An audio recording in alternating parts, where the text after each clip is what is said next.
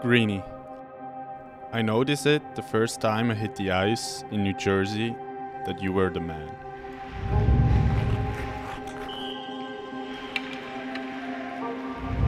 The work, care, and dedication you put into this team, that's what great captains do.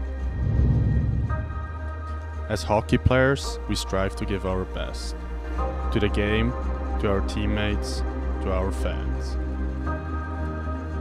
But most of all, we strive to be a good person and be a role model. No one represents those values as a devil better than you. I'm honored to have followed in your footsteps as captain of the New Jersey Devils. Congratulations on your retirement and on your amazing career.